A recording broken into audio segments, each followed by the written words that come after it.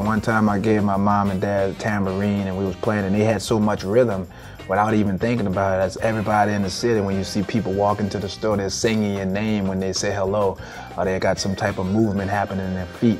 And it's just something else. But they, they love it, you know. Well, for two days now, I've been in here in New Orleans during Mardi Gras, and I'm in the streets, and I'm hearing some some really funky kind of music, like but the grooves with the three different guys, and the guy hitting the, Yeah. the kick, and then the guys playing the snare, and the guys playing against something else. And I've heard some of the funkiest grooves. I'm going, man, I, I want to just like put that to a rock, you know, guitar Absolutely. play. You know, it- it's That's like where my mind Led Zeppelin yeah. stuff, you know, where the Absolutely. kick, you know, boom. Yeah. You know, it's like, uh, man. Anyway, yeah, there's Yeah, some good music going down the Well, we'll streets have in to this do that town. together. Uh, let's do, you do know, on film, folks. film, on film.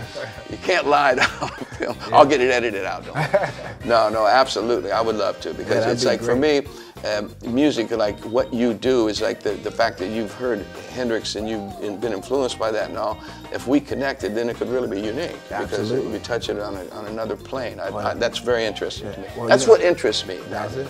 You Well, know? yeah. I mean, being in New Orleans, everything is a big gumbo anyway, you know, because we have we have people like Allen Toussaint and the Neville Brothers or Dr. John that's really strong at a particular sound of New Orleans. And then you have Mm-hmm. Rebirth Brass Band, uh, uh, Cowboy and Mouth, or whoever. That's I remember Cowboy Mouth. They opened the show for me one time. Yeah, that yeah. drummer dude. but- Fred LeBlanc. Yeah, yeah. So we all get a chance to work with each other at some point, and those influences stay with us, and then we create this sound.